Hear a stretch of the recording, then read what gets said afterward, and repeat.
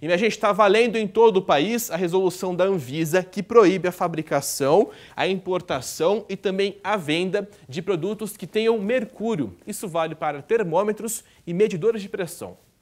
Dona Nancy não fica sem termômetro em casa. Além do digital, ela tem aquele antigo, sabe, de mercúrio, que já usou milhares de vezes para medir a temperatura do neto.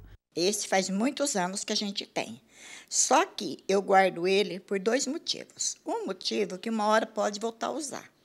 E outro motivo é uma recordação da minha filha. Quando ela comprou com muito carinho, eu estava junto. Por incrível que pareça, o mercúrio que vai dentro deste aparelhinho pode apresentar sérios riscos à saúde e também ao meio ambiente. E com o objetivo de eliminar de vez o uso dessa substância, a Agência Nacional de Vigilância Sanitária criou uma resolução para proibir o produto. Quem possui o aparelho em casa poderá continuar usando normalmente, desde que tenha os devidos cuidados. Mas em todo o país já é proibido fabricar, importar e comercializar produtos que tenham mercúrio na composição.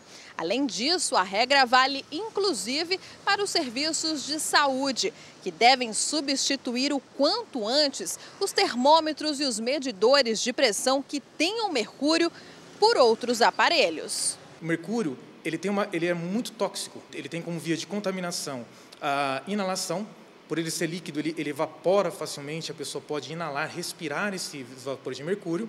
Respirou, vai para o pulmão, passa para a corrente sanguínea. Mas vale lembrar que o perigo existe caso haja alguma exposição. Sendo assim, o mercúrio pode afetar inclusive o sistema nervoso. A pessoa pode ter tremedeiras, né? pode ter alguns sintomas diferentes relacionados ao sistema nervoso. Até insônia é um sintoma é, provocado pela contaminação de mercúrio.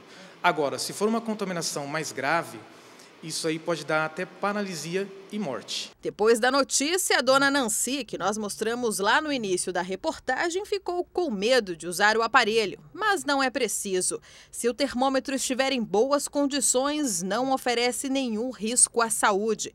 Basta armazená-lo de forma correta. Vou deixar o meu guardadinho. É caso uma hora precisar, puder usar, e outra é uma lembrança.